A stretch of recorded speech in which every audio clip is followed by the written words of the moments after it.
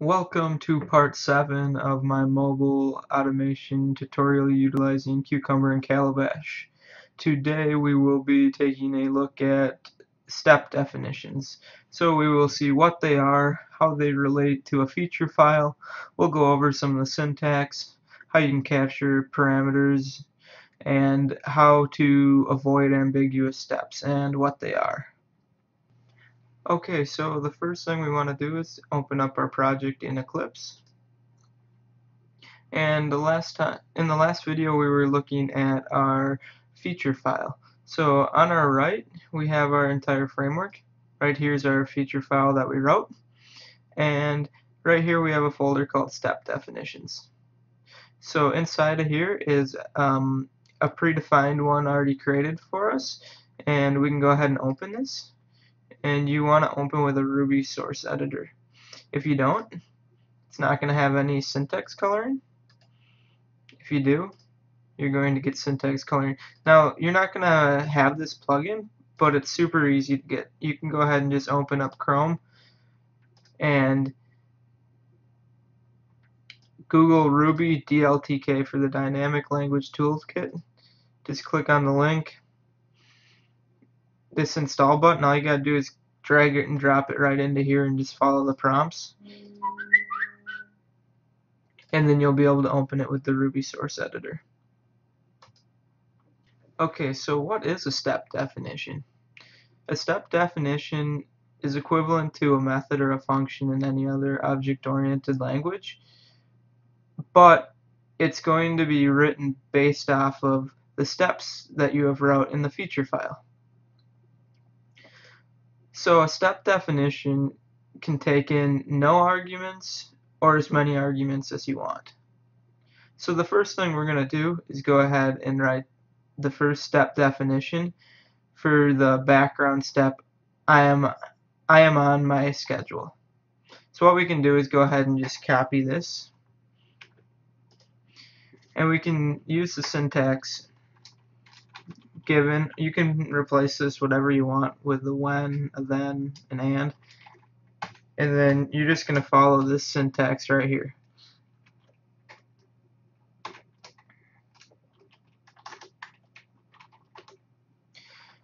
And right here you have created your first step definition. Now what's going on in the inside of here? This is just using um, regular expressions to match this string to the string that you have given in the uh, my schedule. We can go ahead and do the same exact thing for the very next uh, step in our feature file. So we're going to go ahead and grab this step when I tap May 27 on my schedule. Just copy that. We're going to paste it in here. Just as before, how we're leaving the given out, we're going to do the same thing for the when. And we're going to use the same exact syntax as before except this time we're going to have a money sign at the end. And if we were looking at our feature file, you can see that when I tap May 27th and when I tap May 29th, these are the exact same things. And we're going to want to not have the two different steps. We're just going to want to have different variables being passed in. So we can go ahead and delete the May 27 portion. And we can use this syntax which is just going to catch exactly what we put in there. And then we can instead of just saying do and end we can actually say date. And here we can print something and we can print the date. So puts is just um, the same as printing to the command line in any other language. So it would be equivalent to your system.out.print or your console write line. Alright, so we're going to go ahead and save that file. We're going to launch an emulator like we did before. And we are going to navigate into our framework. And we're going to open a command prompt just like before, we're going to now execute these tests using bundle execute, calabash, android, run, and the APK name.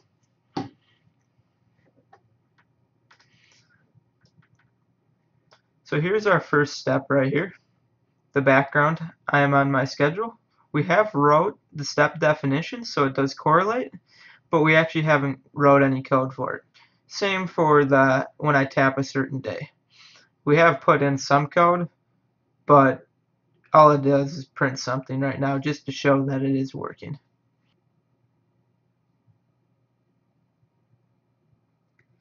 So there you go. You can see that the first uh, day, the first step is in green because the step passed. We didn't actually fail the step. And you can see that it actually printed to the console the day that it was given. And same here for the second uh, test and the third test. So as you can see, green tests that passed are in green. Yellow tests are ones that have not have any step definitions relating to them. And I didn't fail any tests, or no test failed, so we don't have any in red, but that would show up in red. Now we can look down here. We have three scenarios. Every scenario has some undefined portion, meaning one of one or more of the steps have not been um, doesn't have a corresponding step definition.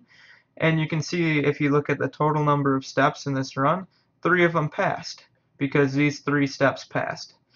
Now as far as the background goes, that doesn't get included because this is supposed to be done in the background as expected. If this step does fail though, none of these scenarios would actually get ran then. I do want to raise one concern.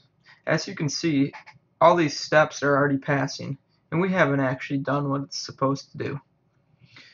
Now, we have to make sure these tests are properly passing because obviously a step that's empty and passing is not okay. Um, so I recommend in between your steps as you're creating them that you put a simple raise statement. All you gotta do is write raise. I am still working on this step. Now a raise is just a way to throw an error. So now if we go ahead and save this and we run our test. Okay, and as you can see after executing our tests, um, they are now failing. You can see that I am still working on this step has been thrown and the step is now in red. And you can look down here and you have failing scenarios. You have all three of them because they all used that step. Okay, the last thing I want to go over is ambiguous steps. So an ambiguous step is when you have two step definitions that look similar. So when you use this um, syntax right here, the dot star, it's catching text in between it. Now, you could be using that to catch wider things and it's not going to know the difference if it should be catching the small part or the large part.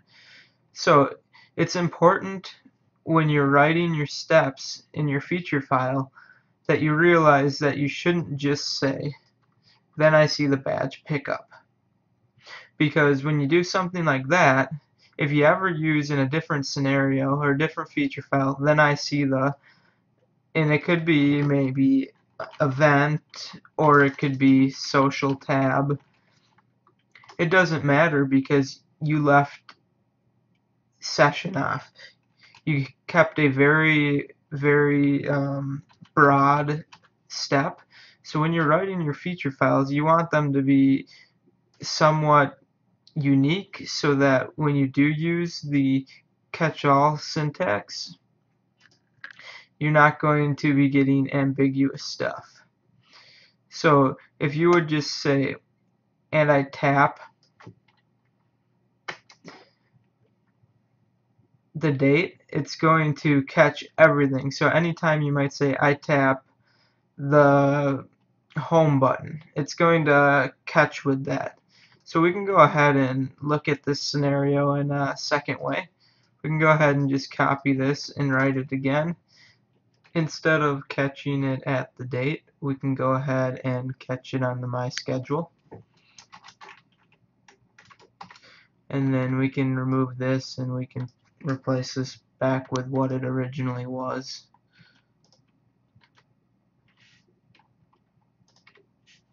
Mm, we can go ahead and save that and we can run it. And as you can see, the results say ambiguous match. So it, you can see that these two steps are too similar and then it's saying please fix it or you can turn on the guess mode. I recommend just writing your steps properly and having them well defined and not super broad so that doesn't happen. I ran into this the first time I started using Cucumber when I had um, I wanted to tap a button so I had and I tap the sign out button and then I had then I wanted to tap the um, account button. And I noticed that if I would have done it properly I should have said I tapped the account button from the X menu or I tapped the sign out button from the account menu I ended up having a huge list of different buttons and I had to do a bunch of different um, like one super long switch statement for every single button I wanted and it crossed multiple different pages which ended up it worked but it's not the most efficient way and it kind of became a hassle and a nightmare looking back on it. So in the next um, video we will be looking at how do we implement a profiles page or in Cucumber a Cucumber YML because as you can tell um, we have no control over which scenario we want to run. Right now when we do the Calabash Android run it is just launching all of our tests. So in the next video we will go over how we can create profiles and yeah run different tests. Thanks for watching